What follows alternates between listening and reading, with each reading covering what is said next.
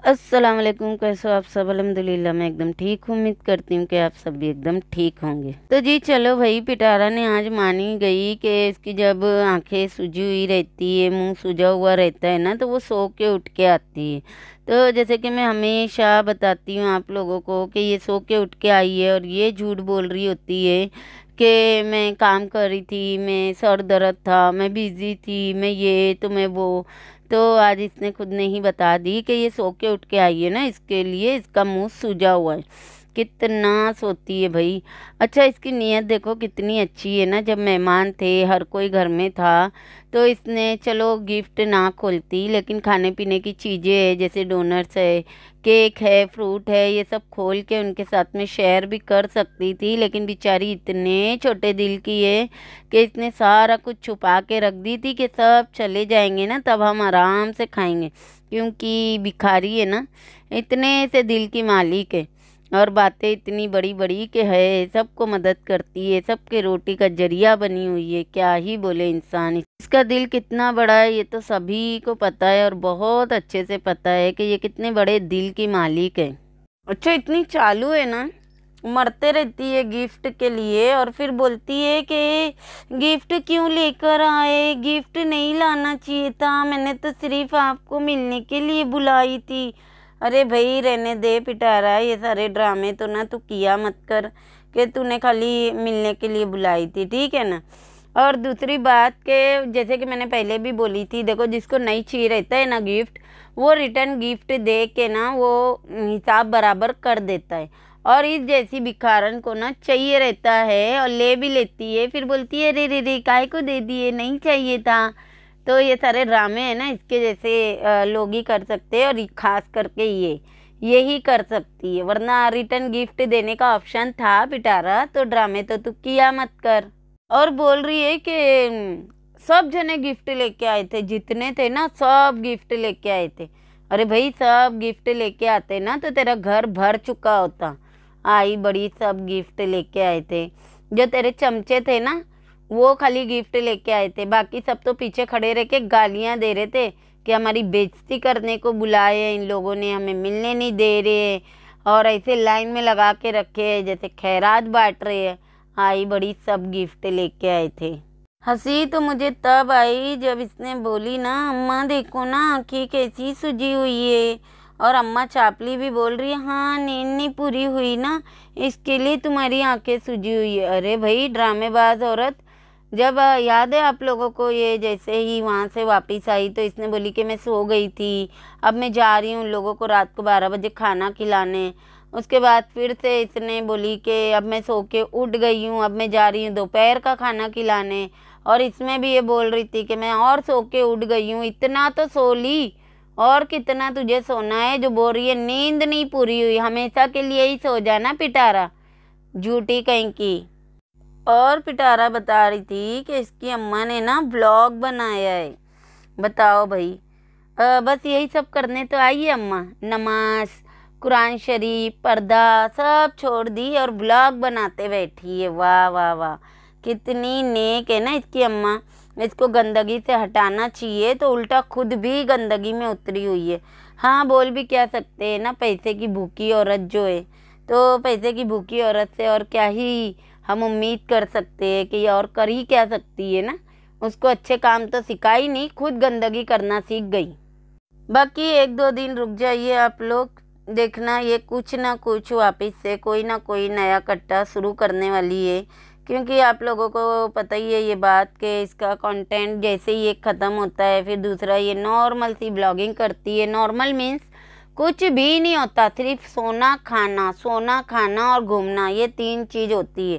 तो फिर इसको व्यूज़ नहीं आते फिर ये जानबूझ के कुछ और लेकर आती है। जैसे कि इस वीडियो में भी आप लोगों ने देखा होगा कि क्या की इसने। आ, बस सुबह में उठी मैंने गिफ्ट खोली फिर मैंने खाना खाई फिर मैंने वापस से खाना खाई फिर मैं भटकने निकल गई। बस यही सब होता है भाई इसके ब्लॉग में। तो अब बहुत जल्दी ना ये कौसर वाला कट्टा खोलने वाली है, सिंपति लेंगी। और अम्मा को, अम्मा के नाम पे भी सिंपति लेंगी। अम्मा जा रही है, अम्मा कब जा रही है? अम्मा उड़ गई, अम्मा बैठ गई। अब ये सब शुरू होने वाला है। वैसे क्या बोलोगे सपोर्टर? हो तुम लोग तो बोलते हो, इसको घर से निकाल दे, इसको निकाल दे, ये कर दे, वो कर दे। इसीलिए इसने लोगों को दिखाना भी बंद कर दी थी। लेकिन लेकिन अब ये तुम लोगों के मुँह पे चपेड़ मार रही है। देखो कैसे अपने ऋतिक रोशन को दिखा रही थी ना वीडियो में। और इसने तो साफ़ मना कर दी कि मैं अनीता को नहीं निकाल सकती, वो बहुत भरोसेमंद है, वो पूरे घर का काम संभालती है, देख लो। अब जाके ना ये तुम लोगों को तुम लोगों की औकात दिखाने लगी है और तुम लोग पूछ हिला हिला के इसके पीछे चलने लगे हो। अच्छा ठीक है, अब अनीता को रख लो, लेकिन रमज़ान को नहीं रखना। फिर ये आके बोलेंगी कि वो बीवी के पीछे हैरान रहते हैं तो बच्चों को लाना, ले जाना, ये सब करना पड़ता है तो रमज़ान का रहना बहुत ज़रूरी है, बहुत भरोसेमंद है तो फिर ये लोग बोल देंगे अच्छा रमज़ान को रख लो, बस उसके साथ सो मत जाना। फिर बोलेंगे, क्या करूँ, मुझे बीमारी है, बाहर मुँह मारती हूँ, पकड़ी जाती हूँ, इससे अच्छा है, रमज़ान घर में ही मेरी बीमारी का इलाज कर देगा। समझ आई? ये तुम लोगों की औकात है। अपनी मालकिन को अपने इशारों पे नचा के दिखाओ। पहले तो नाच भी लेती थी, अब तो तुम्हारे मुँह पे चपेड़े मार रही है। इसी पिटारा, तू साथ लगी पड़ी है क्या कौसर और घोंचू की? कि उसको कारपेट लेके लेने जाना है तो तू साथ में जाएँगी? भाई, कौसर का घर है उसके हिसाब से उसको लाने दे, उसको पसंद करने दे। हर जगह पे तू टांग अड़ाती है, फिर बोलती है, कौसर मेरी ज़िम्मेदारी नहीं है। तू क्यों जा रही थी इसका कारपेट लाने के लिए? हस्बैंड बुला रहे, जाना है उनके घर के लिए कारपेट लेने। क्यों भाई? हर जगह पे क्यों टांग अड़ाना है तुझे? वैसे दिल बहलाने के लिए गालिब ये ख्याल अच्छा है। आप लोग सोच रहे होंगे ना कौन सा ख्याल? पिटारा ने बोली कि जो हमने कराची का हॉल लिए थे, वो 200 बंदों का था, कुर्सी पे बैठते तो।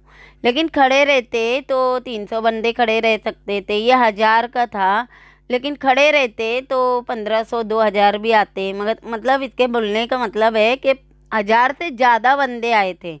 तो भाई दिख रहा था पिटोरो।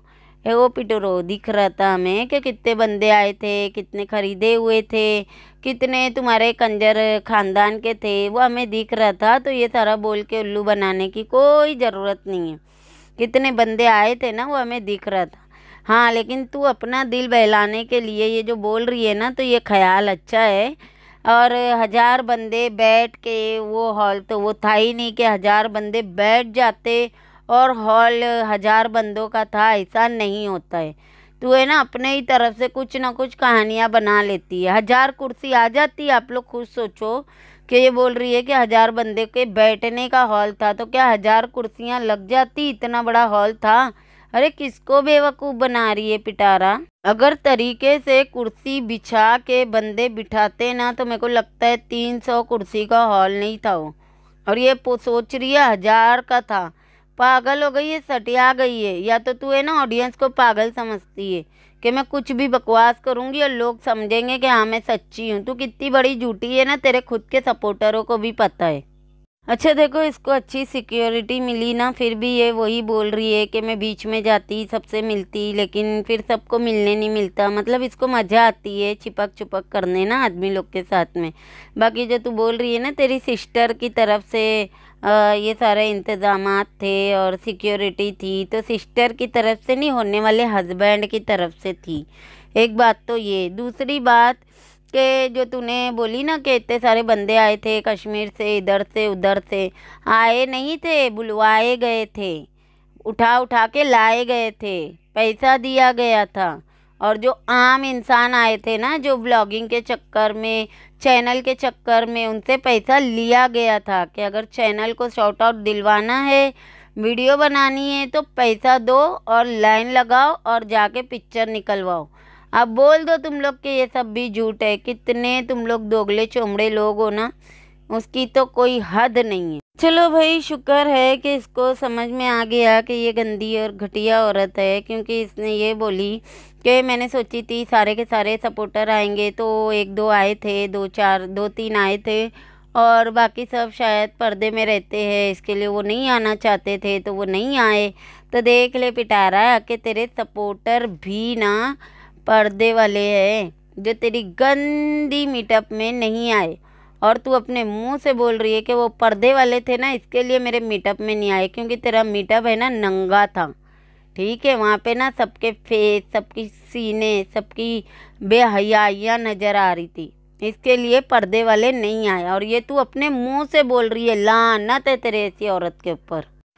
अच्छा अम्मी से पूछ रही है कि मीटअप में कैसा लगा? मज़ा आया। हाँ वहाँ पे तो मैंने मोबाइल में देखा था। यहाँ पे मैं खुद आई थी। बड़ा मज़ा आया। तुम्हारी वजह से लोग मुझे भी प्यार कर रहे थे। अरे, बिल्लो आंटी, ज़रा सच बोलना सीख जा। तंबू में घबराहट छुट्टी हुई थी। पूरे मीटअप में तो मुँह बना हुआ था, क्योंकि जिसको नहीं बुलाने बोली थी, उसको बुला ली थी इसने। बुलाई तो बुलाई, ऊपर से उसके साथ में पूरा टाइम रही। मीटअप शुरू होने से ख़त्म हुए तलक के उससे चिपकी रही। तो तुझे डर लग रहा था कहीं सच्चाई बाहर ना आ जाए। और बोल रही है, मैंने बड़ा इंजॉय की, बड़ा मज़ा आया। वो तो हमने देख लिए, बिल्लो आंटी, हज किए, उम्र किए। जरा है ना, सच बोलना सीख जा बेशरम। सच में यार, बिल्लो आंटी को ना अपनी उम्र का भी लिहाज नहीं है। इसके इतने झूठे, इतनी गंदगी के ऊपर बिल्लो आंटी इसको सपोर्ट करती है और इसका गंदगी छुपाती है। बल्कि माँ है, उसको अच्छे रास्ते पे लाना चाहिए, उसको सुधारना चाहिए तो उल्टा गंदगी को और बढ़ावा देती है, लानत है भाई ऐसी औरत पे। अच्छा आप लोगों ने ध्यान दिया जब से कौसर आई है, इसकी अम्मा के पैरों में भी मेहंदी लग गई है, कौसर से काम करा रहे हैं लोग। और कहाँ तो उस दिन बोल रही थी कि कौसर प्रेग्नेंट है, इसको आराम की ज़रूरत है। भाई, जब तुझे पता है इसको आराम की ज़रूरत है, वो प्रेग्नेंट है तो उससे काम क्यों करवा रही है? हुँ? क्यों बुलाइए उसको? काम करवाने ही तो बुलाइए ना। कि अम्मा नौकरानी तो सऊदी जा रही है। तो कौसर नौकरानी से तुझे काम करवाना है क्योंकि तू एक नंबर की काम चोर औरत है। उससे काम करवा रही है और ड्रामे ऐसे करती है जैसे पता नहीं कितनी अच्छी औरत है तू। अच्छा इसने कोई चीज़ बांधी मुंगरे पुंगरे? और मेजर अंकल के घर ज़रूर देना है। वो जैसे केस बीबी ने बोली थी ना अब इदारों वालों के बीच में इसका बैठना उठना होगा। तो जो मेरी वीडियो नहीं देखी है तो जाके कल वाली वीडियो देखना, कैसे इसका बैठना उठना होगा, क्यों उन लोगों के अंदर ये इतनी घुसी है ना, आप लोगों को सारा पता चल जाएगा। वैसे खुद की असलियत खुद ही बता देती है। जैसे कौसर लोग आए थे, पहले दिन बड़ा चाय बना के खिल, पिला रही थी, खाना बना के खिला रही थी, और अब देखो, कौसर खाना लेके आ गई है, चलो बैठ के खाते आ गई अपनी औकात पे। काम चोर, संडी औरत। चलो भाई, रमज़ान में रोज़े, नमाज़, तिलावत, साफ़ सफ़ाई, खुशबू और इफ्तारी, सहरी, वो सब की तैयारी छोड़ के जैसे पिछले साल लाल टैन ले लेके घूमती थी, वैसे ये साल अम्मा ने एक कटोरा दिए। ये रमज़ान में इधर रहेगा, इसमें ये रखेंगे, वो रखेंगे। बस, साज सजावट की ही चीज़ों में तेरा ध्यान रहता है, क्योंकि वीडियो में दिखाना होता है ना। वीडियो में दिखावा चलता है तो दिखावे वाली चीज़ के ऊपर ध्यान देती है। और तुझे शर्म नहीं आती है बोलते हुए कि किसी ने तुझे गिफ्ट में तस्वीर दिया है तो वो मैं लगा दूँगी? अम्मा सऊदी जाएँगी तो कुर्सी पे तस्वीर लगा दूँगी और सामने हम लोग रोज़ा करे, खोलेंगे। शर्म आती है, नहीं आती है? तू अपने आप को मुसलमान बोलना छोड़ दे। तुझे पता नहीं है कि मुसलमान में ऐसा नहीं चलता है? तस्वीर नहीं लगाते, रहमत के फरिश्ते नहीं आते। तो भी तू यही सारी बातें करती है, जानबूझ के करती है ना? क्योंकि तू एक शैतान औरत है घटिया गिरी हुई औरत। अच्छा मुझे ये नहीं समझ आता है, ये इस तरह की बातें करती है तो अम्मा इसको क्यों नहीं समझाती है? क्या इसकी माँ को भी ये सारी चीज़ें नहीं पता है कि तस्वीरें नहीं लगाते जानदार चीज़ों की? जैसे इसने अपने बेडरूम में भी लगा के रखी है, वो सब भी अलाउड नहीं है। मतलब अच्छी बात नहीं है, नहीं लगाना चाहिए। मनाई है, ये सब बातें इसकी माँ भी नहीं समझाती है? या इतना इसकी माँ वो चारपाई वाली कहानी से डरती है के डर के मारे इसको कुछ बोलती ही नहीं है। कुछ लोग ये भी बोल रहे थे कि इसकी माँ अब वापस नहीं आएँगी तो ना, ऐसा नहीं होगा। अगर इसकी माँ ने आने से इनकार किया ना तो फिर ये चार पाई वाली कहानी लेके वापस से आसमान के चैनल पे बैठ जाएँगी और अम्मा की सारी पोल पट्टियाँ खोल देंगी। इसके लिए अम्मा को तो आना ही पड़ेगा। जैसे इसकी अम्मा कौसर और अनीता एक ही जगह पे बैठे हुए थे तो बोल रही थी, इनकी जोड़ी बनी हुई है, इनकी महफिल सजी हुई है, ये हमेशा साथ में रहती है। तेरी महफिल किसके साथ सजती है? तू किसके साथ में बिज़ी रहती है? तू किसके साथ में वीडियो कॉलों पे औंधी लेट के टांग हिला हिला के वीडियो कॉल में बिज़ी रहती है? वो भी तो बता। लोग पूछेंगे नहीं तेरे से कि इन लोग तीनों एक साथ बिज़ी रहते हैं तो तू कहाँ रहती है? तो पिटारा अपना सच भी बताओ कि किसके साथ बिज़ी रहती हो, किसके साथ उड़ जाने के चक्कर में हो, है ना? वो सारा सच भी बताओ। वैसे ये बताएँगी नहीं, ये करके दिखाएँगी। जो मैंने बताई हूँ ना मेरी वीडियो में तो वो सारी बातें ये करके दिखाएँगी। अगर के प्लान पे मतलब कैंसिल ना कर दी तो। वरना ये जो मैंने बताई हूँ ना वीडियो में, वो सारा कुछ ये करने वाली है। थोड़ा टाइम जाने दो, बच्चा होने दो। फिर ये इसका ड्रामा शुरू होएगा कि साजिद को छोड़ूँगी ये करूँगी वो करूँगी। फिर बोलेंगी बच्चे है बाप की ज़रूरत है। तो इनसे शादी कर ली। आ, इन्होंने बड़ा सपोर्ट किया बड़ा साथ दिया और यही सारे बहाने करके फिर ये भगोड़ी भाग जाएँगी। खैर चले इस वीडियो को मैं यहीं पे एंड करती हूँ। वीडियो कैसी लगी कमेंट में ज़रूर बताना। वीडियो पसंद आएँगी तो लाइक शेयर और सब्सक्राइब भी कर देना। मिलते हैं नेक्स्ट वीडियो में। अल्लाह हाफिज़।